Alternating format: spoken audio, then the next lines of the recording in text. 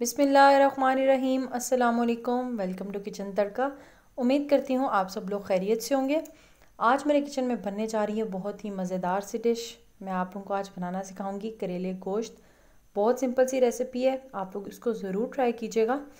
मैं कोशिश करूँगी कि मैं अपनी आइंदा आने वाली वीडियोज़ में भी आपको सिंपल सिंपल सी रेसिपीज़ बताऊँ और ताकि सारी चीज़ें जो है वो हमारे किचन में आसानी से अवेलेबल हों। तो करेले और गोश्त बनाने के लिए मुझे जो यहाँ पर चीज़ें चाहिए मैंने यहाँ पर ले लिए हैं एक किलो करेले, उनको मैंने इस तरीके से काट लिया है। साथ में मैंने यहाँ पर ले लिया है आधा किलो गोश्त, यानी कि बीफ। तीन दरमियाने साइज़ के प्याज। पाँच अदद टमाटर, छः से सात अदद सब्ज़ मिर्चें, लहसुन अदरक।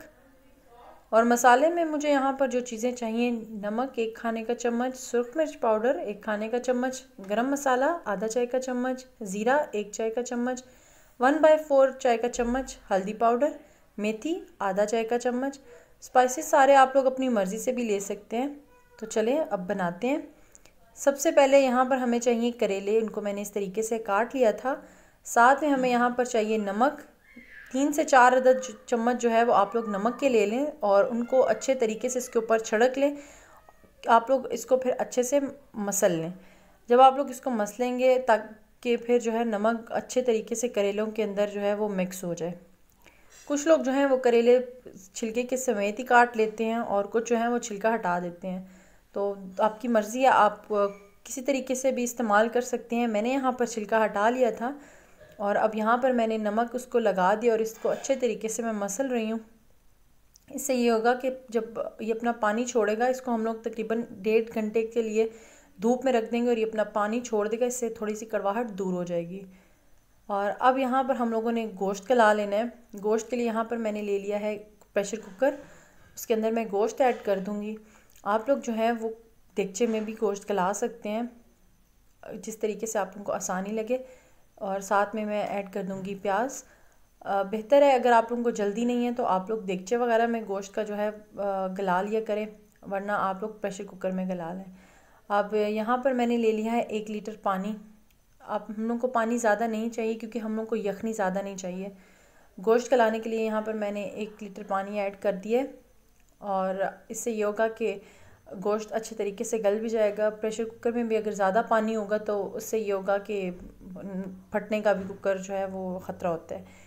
एक खाने का चम्मच यहाँ पर जो मैंने नमक लिया था, वही नमक मैंने इसके अंदर ऐड कर लिया इसके अंदर आप लोग नमक ऐड करने के बाद मसाले के अंदर आप लोग नमक नहीं ऐड करेंगे। साथ में यहाँ पर मैंने अदरक लहसुन के जो हैं वो जवे ले लिए हैं, उसको मैंने डाल लिए इसके अंदर, मैंने उसका पेस्ट नहीं बनाया। और अब हम लोग इसको अच्छे तरीके से ऊपर से बंद कर लेंगे। ध्यान कीजिएगा कहीं से जो है वो गलत बंद ना हो। और अब जो है, यहाँ पर मुझे चाहिए एक कढ़ाई, उसके अंदर मैंने ऑयल डाल लिए ऑयल डाल के मैंने उसको जो है वो अच्छे तरीके से गर्म कर लिया है। फ्राइंग के लिए हमें ऑयल ज़्यादा चाहिए। मैंने यहाँ पर करेले फ्राई करने हैं।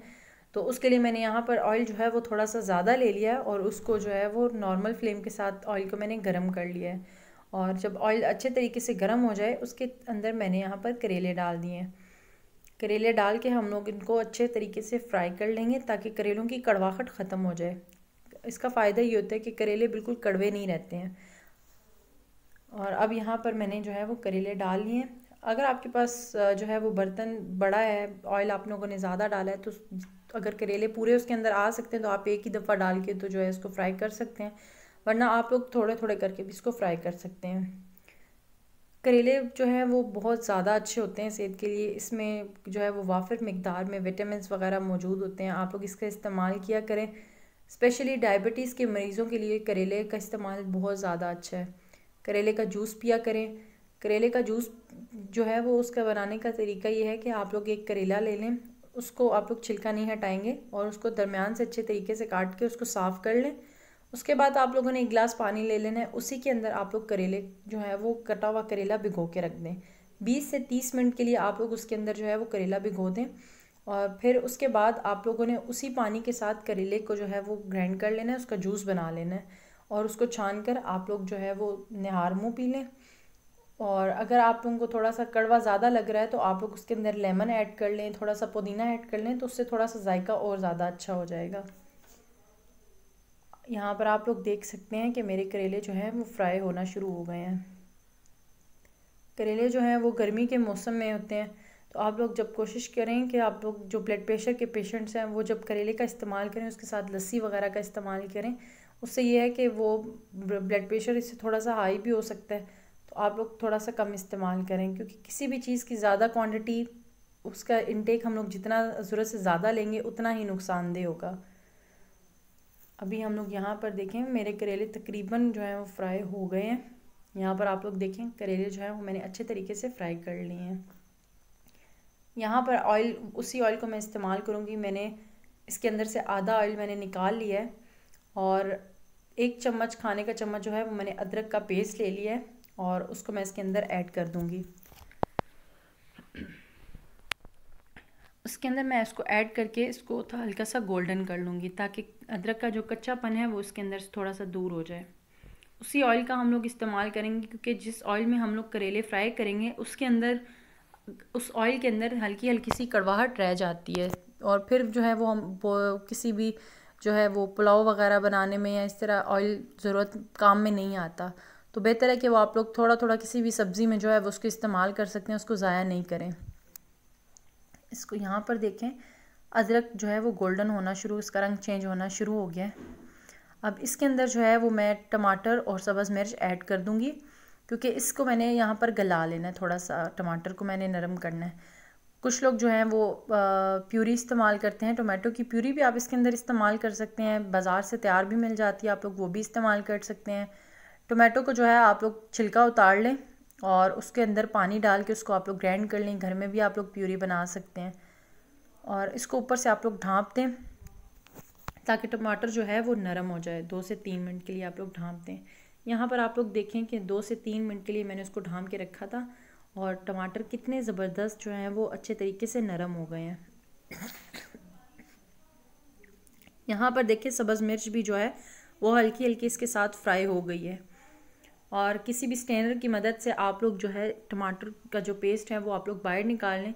अगर आप लोग चाहें तो आप लोग इसी पेस्ट को भी आप लोग ग्राइंड कर सकते हैं, लेकिन मैं यहाँ पर ग्राइंड नहीं करूँगी, मैं इसी तरीके से इस्तेमाल करूँगी। क्योंकि करेले और गोश्त में टमाटर जो हैं, वो थोड़े से खिले खिले से रहते हैं। यहाँ पर इसको मैं अच्छे तरीके से निकाल लूँगी। निकालने के बाद मैं इसके अंदर अच्छे तरीके से ऑयल को निकाल लूँगी। ऑयल जो है वो हम लोग इसके अंदर नहीं रहने देंगे। यहाँ पर मैंने सारे टमाटर जो हैं वो अच्छे तरीके से निकाल के सालन का जो चम्मच है, आप लोग उसको ऊपर से ज़ोर से प्रेस करें ताकि ऑयल जो है वो अच्छे तरीके से इसके अंदर से निकल जाए। यहाँ पर और यहाँ पर उसी ऑयल का मैं इस्तेमाल कर लूँगी और इसके अंदर मैंने जो गोश्त बॉयल किया था, वो इसके अंदर मैं ऐड कर दूँगी। ये देखें, यहाँ पर गोश्त कितने ज़बरदस्त तरीके से गल गया, हमारा नरम हो गया।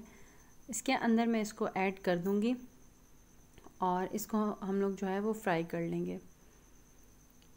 इसको हम लोग फ्राई करेंगे अच्छे से, जब ये फ्राई हो जाएगा तो फिर इसके अंदर हम लोग टमाटो पेस्ट ऐड करेंगे।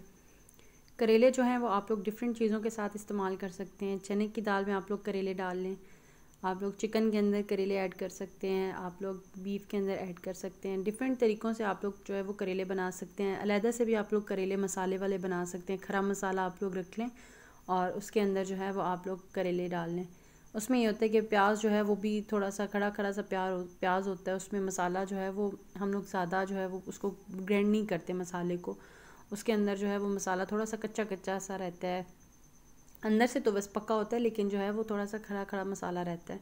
तो वो बहुत ज़्यादा मसाले वाले करेले बनते हैं। इन मैं आप लोगों को चिकन के साथ भी करेले बनाना सिखाऊँगी और खड़ा मसाला जो बनाते हैं, उसके साथ भी मैं आपको करेले बनाना सिखाऊँगी। और यहाँ पर आप लोग देख सकते हैं कि चिक गोश्त जो है वो फ्राई हो रहा है अच्छे से। इसकी इतनी ज़्यादा खूब, खूबसूरत सी, मज़ेदार सी खुशबू आ रही है। और ये देखें, आप लोग यहाँ पर जो है वो गोश्त फ्राई हो रहा है।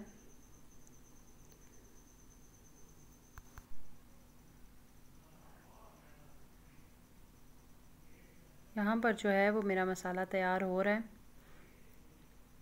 अब जो हम लोगों ने टमाटो का पेस्ट बनाया था, उसके अंदर जो है वो मैं ऐड कर दूँगी गोश्त के अंदर और इसको अच्छे से मिक्स कर लेंगे। इसको हम लोग मिक्स करेंगे ताकि गोश्त जो है वो टमाटो पेस्ट के साथ, जो टमाटर का हम लोगों ने पेस्ट बनाया उसके साथ अच्छे से मिक्स हो जाए। और यहाँ पर जो है वो मैं सारे के सारे मसाले इसके अंदर ऐड कर दूँगी। नमक मैं ऐड नहीं कर रही, नमक आप लोग चख सकते हैं इसके दौरान के।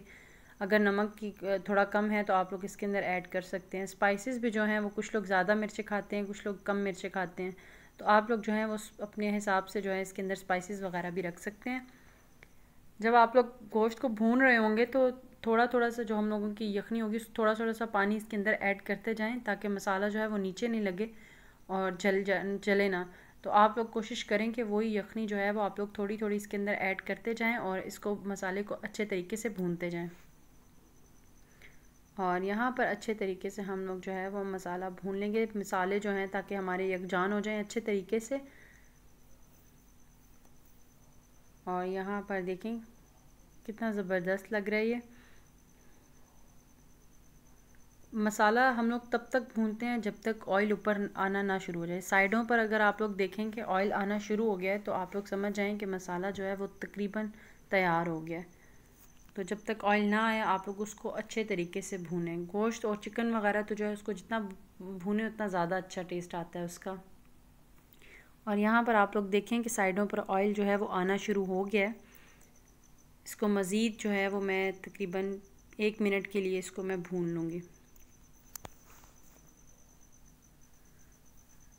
इसको हम लोग अच्छे से मिक्स करेंगे, भूनेंगे। ऑयल हमारा ऑलरेडी जो है वो ऊपर आ चुका है। और यहाँ पर देखें, भून चुका है। और यहाँ पर अब जो है वो मैंने जो करेले फ्राई किए थे, वो इसके अंदर ऐड करके उनको अच्छे तरीके से हम लोग मिक्स कर लेंगे। आप लोग इस तरीके से करेले फ्राई वगैरह करके बनाएँ। आप लोग चेक कर लीजिएगा, करेले बिल्कुल कड़वे नहीं रहेंगे। और यहाँ पर आप लोग देखें कितना मज़ेदार सा करेले गोश्त का सालन तैयार हो चुका है। इसको अब हम लोग सर्व कर लेंगे। और यहाँ पर आप लोग देख सकते हैं मज़ेदार सा करेले गोश्त का सालन तैयार हो चुका है। अगर आपको मेरी रेसिपी अच्छी लगी है, मेरी वीडियो को लाइक करें, कमेंट करें, शेयर करें और मेरे चैनल को सब्सक्राइब करना मत भूलिएगा। इन आपको मज़ीद नई नई रेसिपीज़ मिलती रहेंगी। अल्लाह हाफिज़।